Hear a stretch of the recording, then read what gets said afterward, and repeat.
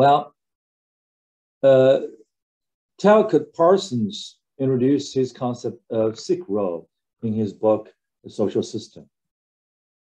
And uh, he developed a complex functionalist model of society, uh, including analysis of functional medicine and the role of sick person in relation to the social system within which that person lived.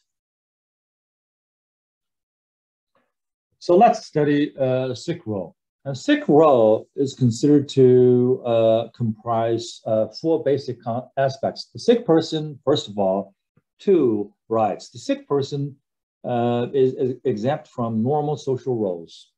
Uh, and uh, that exemption depends on severity of condition and approval by a physician. Second right is that uh, sick person of sick role is not responsible for his or her condition. Illness is beyond a person's control, and help is needed in order to get better. There are also two uh, responsibilities. First, the sick person should try to get well. Sickness should be viewed as undesirable by the individual. An exemption from roles and responsibility for illness is conditional on the obligation to get well. Number four, second uh, responsibility sick person or persons uh, assuming sick role should seek technically competent help and cooperate with physician. While the sick role also defines patterns, expectations of behavior for the patient-physician relationship. The physician should work to retain, retain or return the sick person to a normal state of functioning. And physicians should, uh, excuse me, hold greater power in the relationship. This allows them to exert leverage over the patient to encourage compliance with medical procedures. Okay?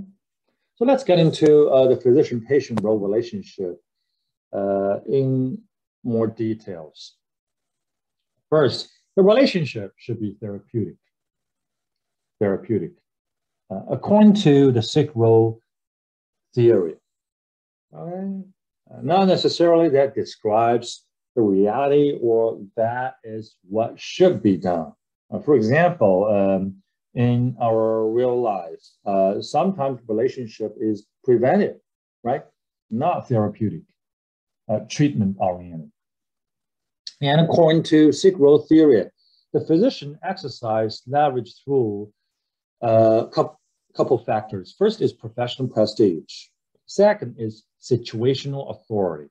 So in the doctor's office, on a uh, one-to-one, uh, you know, uh, basis, and also the situational dependency of the patient.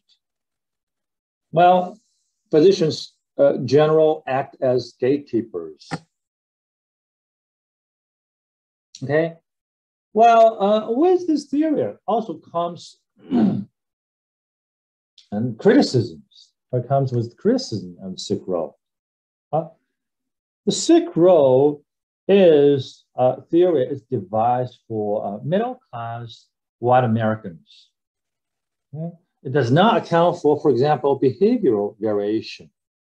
Uh, for example, uh, Twaddle in 1969 describes seven variations of sick role. Okay? And Parsons' version is more applicable to Jews than to Protestants or Italian Catholics, for example. And Zborowski notes group differences in response to pain too, that Jews and Italians more sensitive to pain compared to old Americans. And setting matter for expression of pain, like hospital versus home. Right?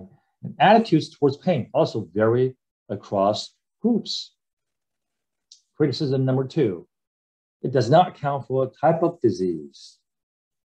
And uh, sick role theory only applies to uh, acute disease, which are generally temporary and overcome uh, with the physician's help.